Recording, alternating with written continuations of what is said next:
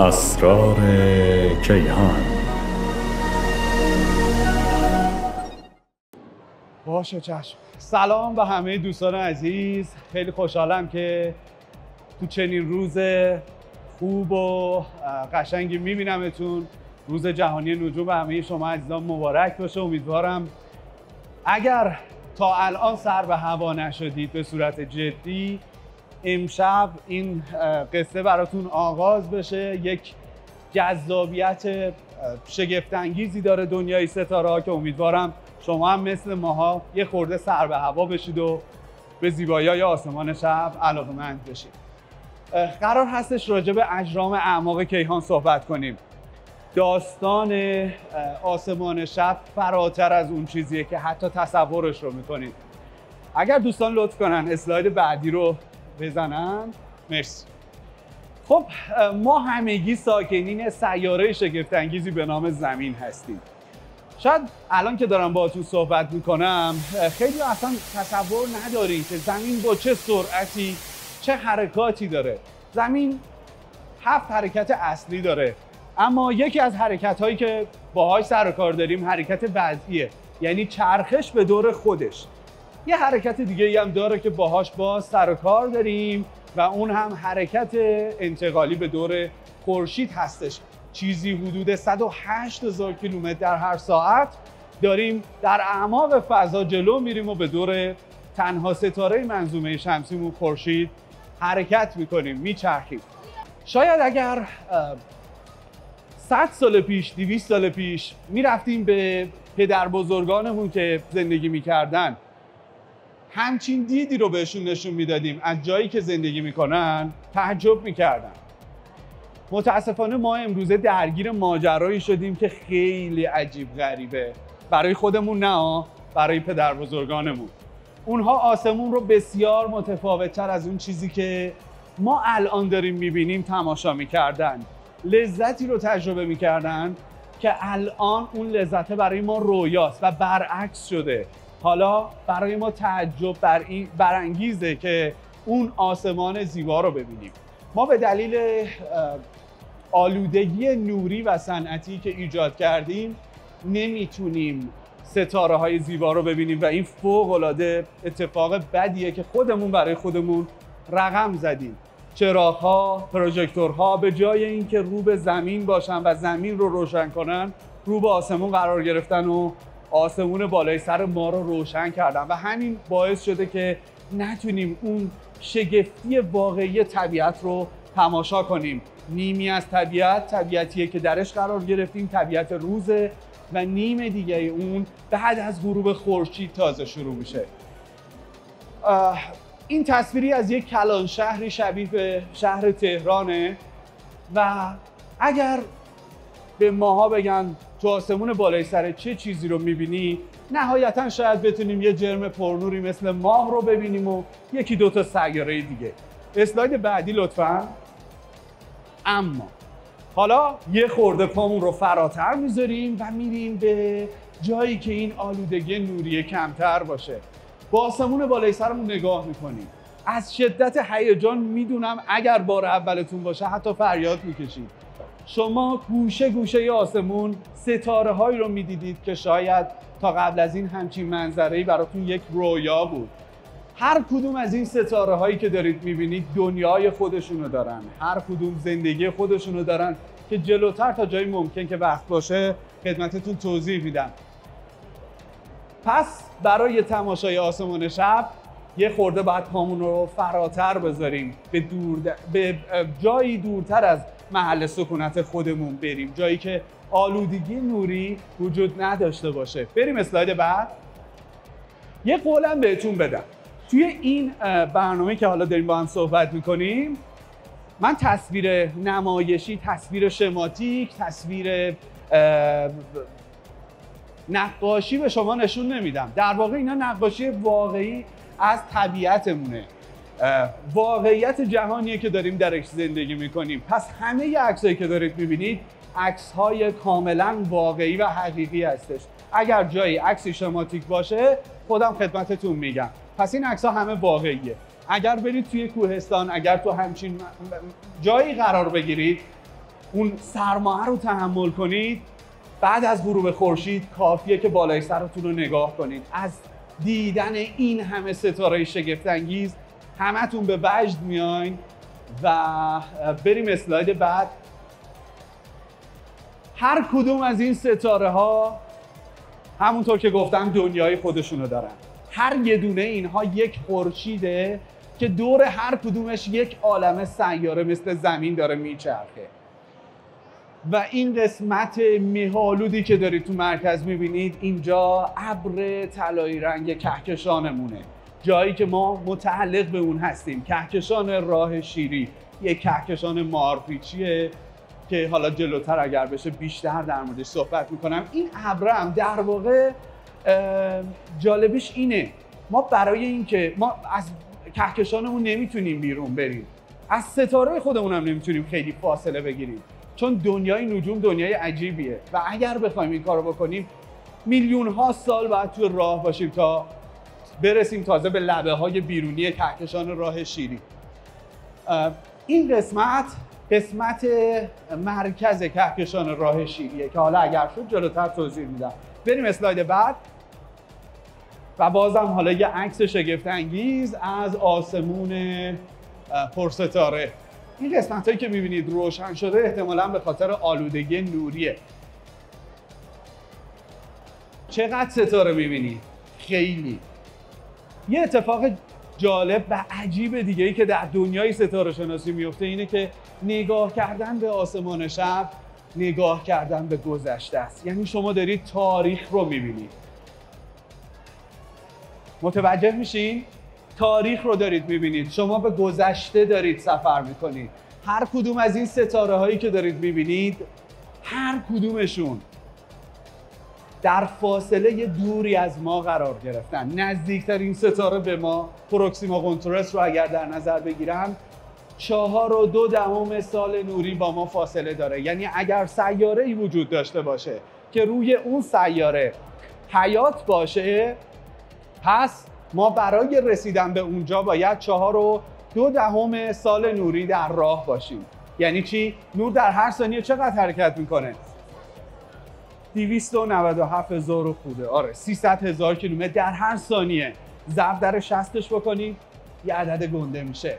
60 رو حالا میایم ضرب در میشه در دقیقه. ضرب در 60 می‌کنیم. یه عدد بزرگتر میشه میشه در ساعت. ضرب در 24 اش بکنید. میشه در روز. ضرب در 365 و 25 صدم بکنید. میشه در سال. حالا اون در سال عدد گنده ها رو ضرب در 4 ممیز دو دهم بکنید. ببینید چه عدد گنده میشه. تازه این نزدیکترین ستاره به ماست. پس اگر ما بخوایم با ساکنین اون سیاره ای که شاید به صورت فرضی دور اون ستاره پروکسیما قنتورس بگرده اگر بخوایم ارتباط بگیریم چهار با سرعت نور اگر بخوایم سیگنال ها رو بفرستیم چهار و دو دهم سال طول می‌کشه تا اون سیگنال ما رو دریافت کنه و اگر اون هوش رو داشته باشه و این تکنولوژی رو داشته باشه چهار و نیم سال نوری تقریبا طول می‌کشه تا این جوابش به ما برسه. یعنی یه چیزی حدود چقدر؟ چند سال؟ نو... تقریبا 9 سال طول می‌کشه ما یه ارتباط کوتاه فقط برقرار کنیم. بریم اسلاید بعد. ستاره های آسمون در حال حرکت هستن. این به خاطر حرکت چرخش سیاره زمینه. اگر بریم حدود هزار سال پیش اونجا به آسمون نگاه کنیم و با مردم صحبت بکنیم همشون بدون استثنا به شما میگن که زمین مرکز عالم قرار گرفته و بقیه اجرام دارن به دور سیاره زمین میچرخن. فرضیه بطلمیوسی که اینقدر بطلمیوسی رو محکم جلوه داده بود که 1500 سال این فرضش بین مردم رواج پیدا کرده بود و مردم خیلی خیلی جدی اون رو دنبال می‌کردن و بعدا کوپرنیک اومد گفتش نه این زمین مرکز عالم عالم نیستش بلکه خورشید مرکز عالمه. و بعدا اصلاحاتی که اتفاق افتاد.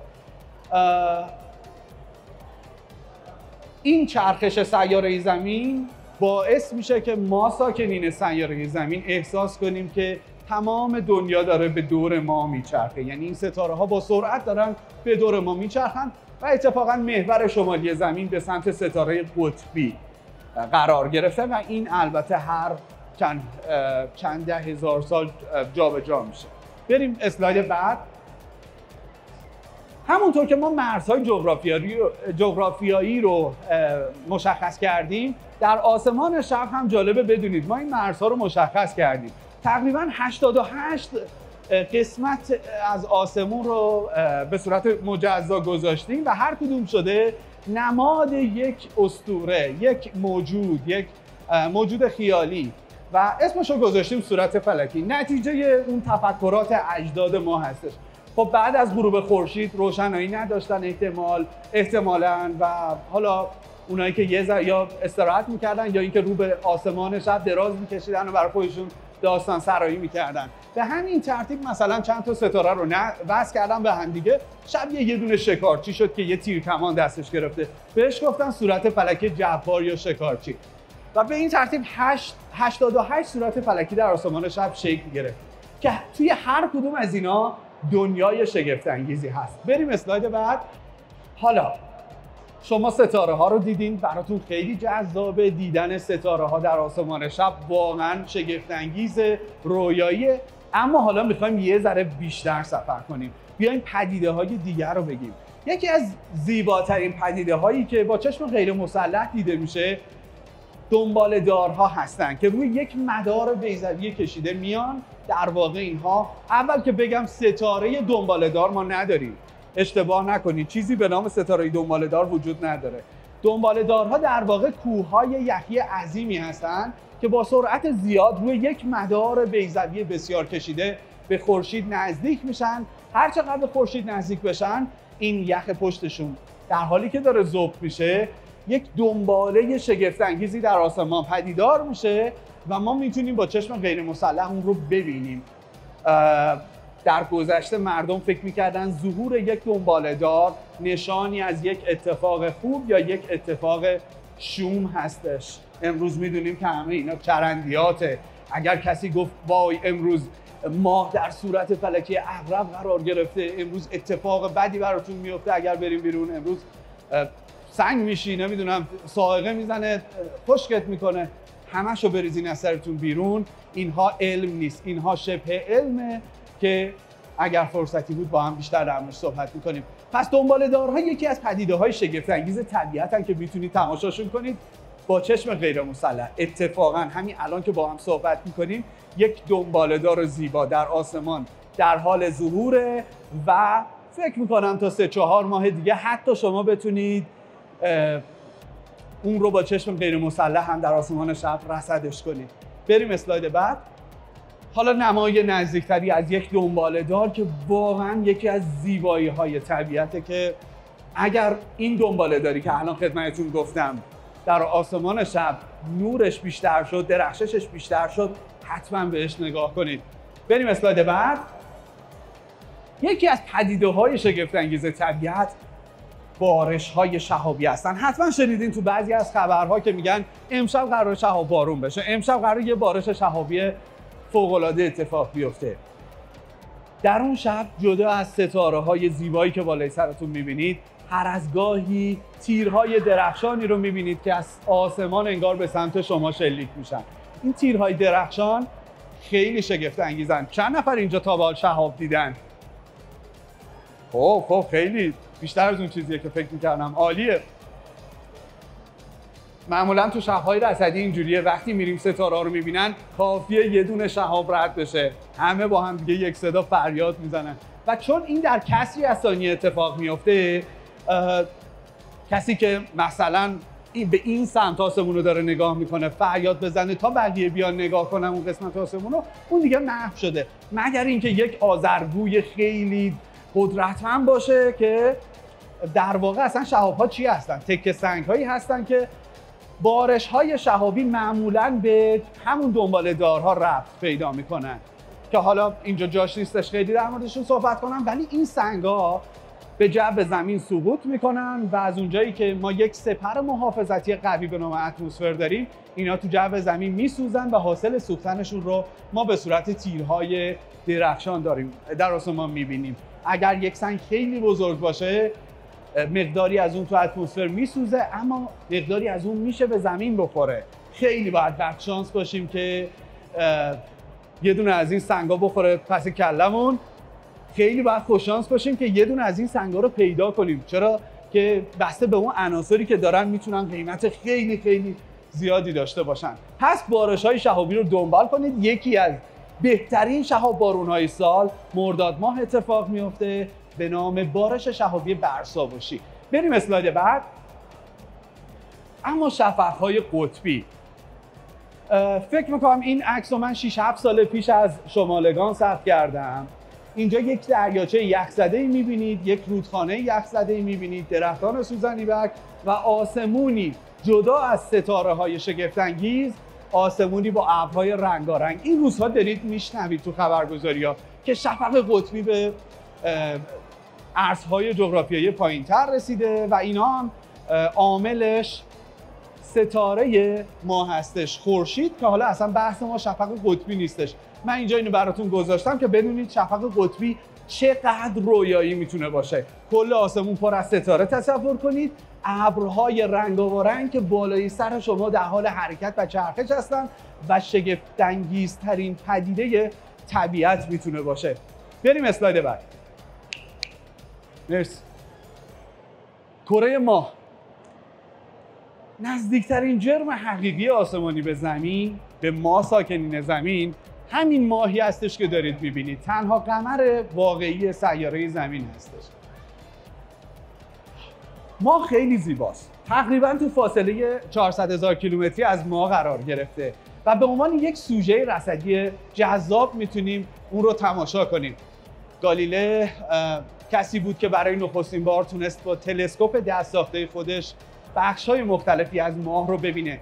بریم اسلاید بعد اما اینقدر جذاب نیستش. وقتی از نزدیک بخوایم کره ماه رو ببینیم می‌بینیم سطحش پر از شاله چوله است. یه خورده چون زمان نداریم من سریعتر دیگه میرم جلو. اسلاید رو رد کنیم. و اما طلوع سیاره زمین از کره ماه. اگر ماه باشیم اگر همین الان خودتون رو در ماه تصور کنید طلوع سیاره زمین رو به این شکل می‌تونید در آسمان شب تماشا کنید. تصویری که آپولو 11 حدود نیم قرن پیش از سیاره زمین ثبت کرده. بریم اسلاید بعد. سیاره قول پیکر مشتری. بزرگترین سیاره ماست. تقریبا اگر همه سیاره های منظومه شمسی رو جمع کنیم دو نیم برابرش کنیم میشه جرم سیاره مشتری. و مشتری پول گازی منظومه ما هستش. خیلی حالا در موردش صحبت نمی کنم وقت نداریم بریم اسلاید بعد. اروپا. قمر شگفت انگیز سیاره مشتری. جایی که احتمال میدیم شاید در زیر لایه های یخزده اقیانوسیش حیات وجود داشته باشه. بله حیات. بریم جلوتر وقت نداریم. سیاره ارباب حلقه ها زحل یا کیوان؟ تصویری که فکر می‌کنم کاوشگر کاسینی از سیاره زحل ثبت کرده بگردین دنبال سیاره زمین پیداش کنید تو این تصویر. بریم اسلاید بعد. یه ذره فاصله رو بیشتر می‌کنیم. می‌رسیم به صحابی ها صحابی ها چی زیباترین گورستان ستاره ای هستن. قبرستان ستاره ها هستن. یک ستاره وقتی به آخر عمرش نزدیک میشه حالا به شکل های مختلف از بین میره ستاره مادر در خیلی از موارد با انفجار خودش ستاره های نوزاد رو متولد می‌کنه. یعنی ستاره ها هم مثل ما یک روزی به دنیا میان و یک روزی از دنیا میرن و ستاره های نوزاد آبی رنگ متولد میشن. اسلاید بعد صحابی زیبای جبار هستش اینجا. یا صحابی های سیاره نمایی که خورشید ما اتفاقا منفجر نمیشه. احتمالا خورشید اول بگم خورشید به نظرتون چقدر انرژی داره میسوزونه در هر ثانیه؟ حدود 600 میلیون تن در هر ثانیه.